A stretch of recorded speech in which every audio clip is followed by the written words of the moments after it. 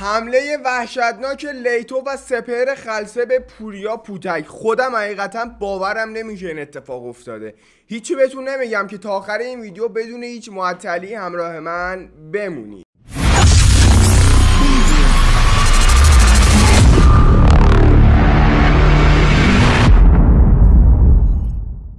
یو بکس امیدوارم حال دلتون خوب باشه. من محمدم و اینجا رپ تایمه. ستون اگر که همونطوری که می‌دونید داستان اصلا عجیب غریب شده. ببین ما مثلا فکرشو می‌کردیم که فدایی توی سورشیچکس بلند شو و همه توی همدیگه بلند شن ولی فکر نمی‌کردیم.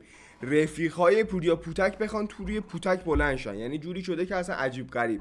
توی این ویدیو قرار رپ هواشی کل هفته رو با هم دیگه بررسی کنیم. اول از همین سراغ پوریا پوتک واسه بقیه آرتیستا اتفاق افتاده بود قرار بررسی کنیم و ببینیم که چه خبر شده. این رپ هواشی اصلا کجا اومده.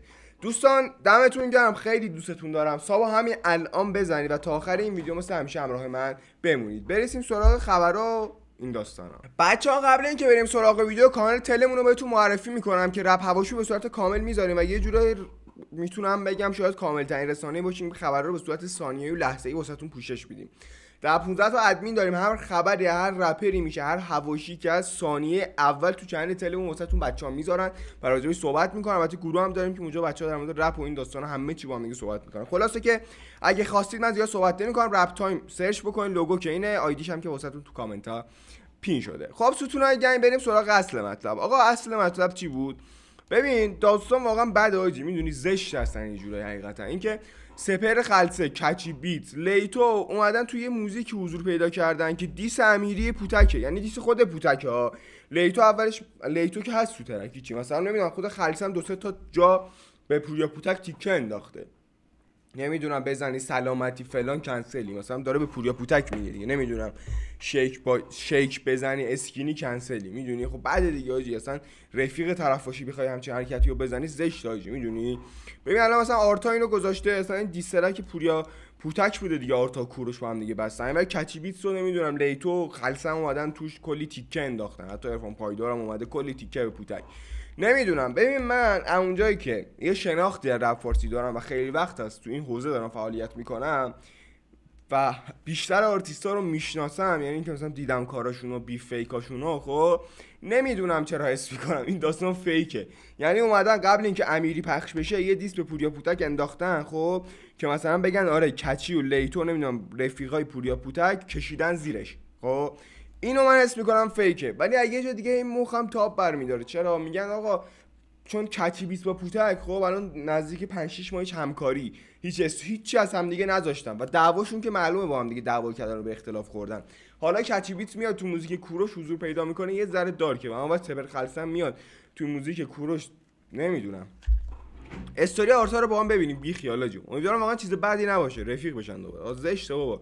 آدم یکی بالا میاره اونا دیگه نباید بیان نمک نشناس بازی در بیارن. می‌دونید چیه؟ حالا دیگه اونا هم که البته خود پوتک که اونا رو بالا نیورده خودشون قوی بودن. ولی بازم کلی دارم بچا بهتون میگم خب تو channel مون گذاشتیم این چیزها رو. اینم که از آرتا حالا پستش که زده بود داخل چیز. بعد حالا اینجا آرتا با چیزام درگیر شدن عجیب غریب که همه voice رو با هم دیگه تک تک میشنیم بچا ببین الان آرتا و عرفان پایدار خب همشون با هم دیگه دیشب voice بازی می‌کردن تو channel اشون. دونه دونه voice رو من می‌ذارم روی سرعت 2x واسهتون که قشنگ گوش بدید بفهمید چی شد اگه نداشتید. اگر می‌خواید voice رو داشته باشید تو channel مون کافیه join باشید.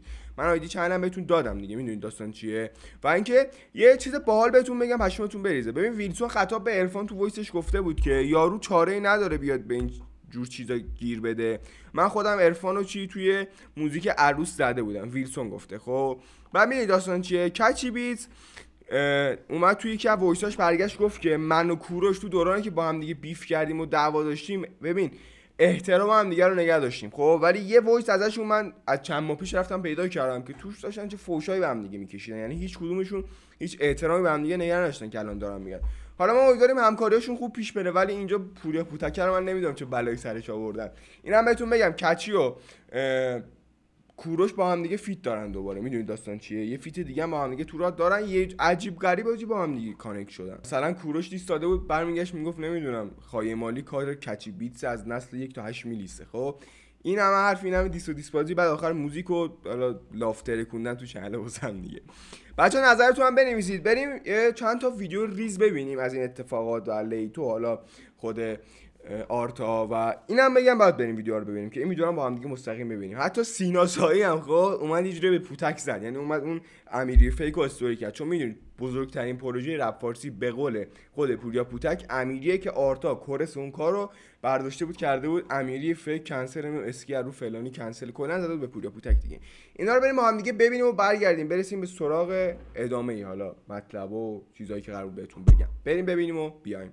امیری فیک کنسل اسکی رو دریک کنسل استوری با فیک کنسل سکینی باشه شک کنسل اگه دردن نباشه آجی فش کنسل برنامه میشه سری با یه بش کنسل ترکیب تکمیل بزیلک خسته. بیزنس نگی آجی کف فرست کلاسه میگم آرتا تو لیوان ویسکیه. میگه برو بالا کسخور ویتامین سیه. میگم واسه تهران. این ایتالیسکیه سیسم مکسی مزه از بیفم مثل جی کل خسته می‌خوام چیل کنم بزنم من پس با دسته بگو.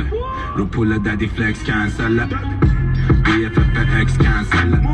بنفیتو کنی نکس کنسل. بخی دنسره رو کوکو بچه دنسره بالا. از زمان پچ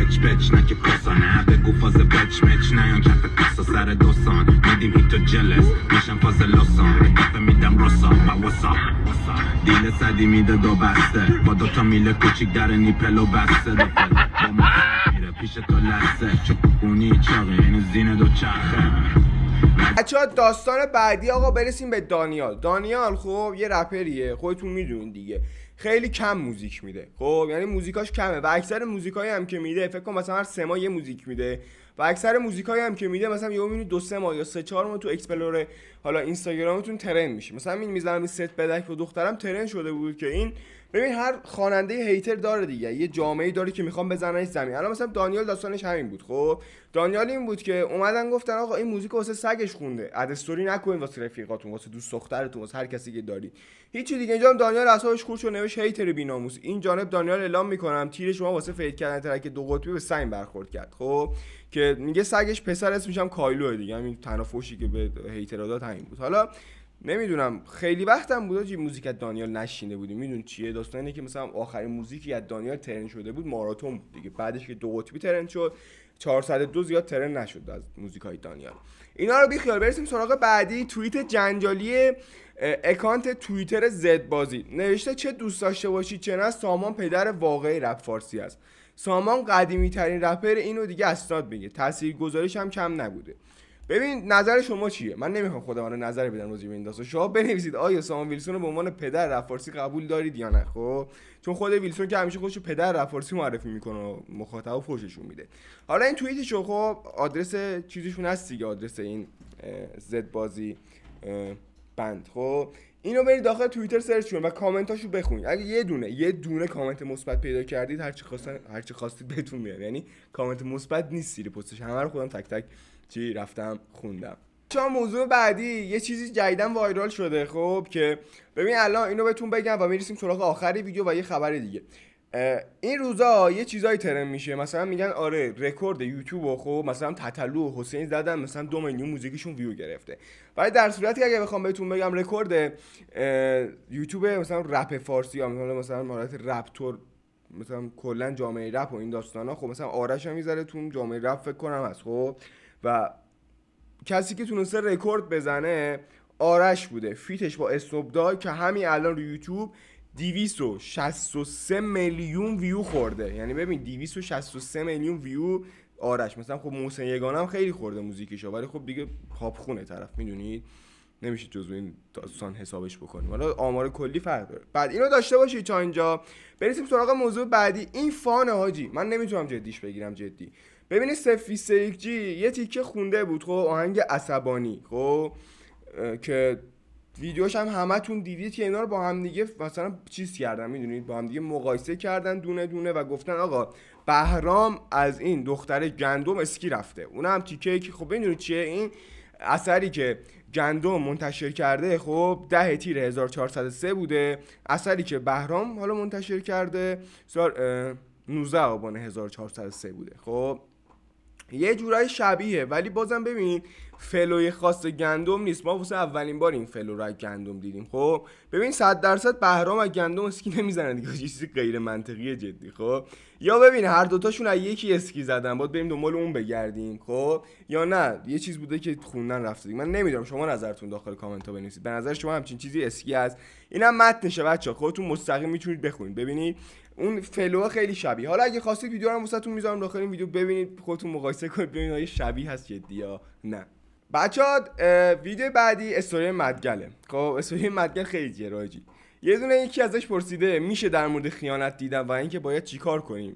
خب یه حرکتی به ما یاد بدی بچه فکر کن خود طرف با فیلم بردار دوست پسرش. ببین فیلم بردار موزیک ویدیوهای جیدال. خب علی جی. فکر کن با اون ریخته رو هم. بعد اومده در مورد خیانت داره مثلا درس میده. آره خیانت نکنید فلان نکنید بیسار نکنید. آجی خیلی زشته جدی خب؟ بعد می‌دونید چیه داستان؟ اومده داره مشاوره میده. اصلا به نظر من نباید روش می‌شد همچین چیزی استوری میگه خیلی پر روی کسکش بعد یه دونه استوری هم گذاشته. خیلی بار بود. میگه چرا من دیگه انقدر زشت شدی؟ نوشته انقدر به من نگاه جنسی کردن. قیافمو زشت کردم که نگاه هرون برداشته شه. آجی کی به این نگاه جنسی کرده به این بدبخت؟ یه فیلم ازش اومده بیرون. حالا اونو نگاه کردن فکر می‌کنن اینه. خودش هم دوست داره اینه جالب اینه که خودش هم نگاه جنسی رو باش حال می‌کنه. حال نمی‌کرد که ویدیو نمیساخت. یه میلیون ویو بگیره. نظر شما بچه راجع به حواشی اخیر چیه؟ استوری آخر دانیال هم با هم دیگه ببینیم. دانیال من نمی‌دونم آجی با کی درگیره جدی. اصلا خودش نمی‌دونه خودش با کی درگیره. خب؟ فقط میاد استوری می‌ذاره به یکی میپره که ما نمی‌دونیم که امیدوارم بفهمیم یه روز دانیال واقعا با کی درگیره. آجی کیو داره می‌زنه ما نمی‌فهمیم. دمتون گرم که تا اینجا ویدیو همراه من بودید. یادتون نره channel یوتیوب subscribe کنید. زنگوله رو حتما حتما بزنید. اگه با رپ حواشی حال کردید حتما مثلا کامنت کنید. با امید دیدار.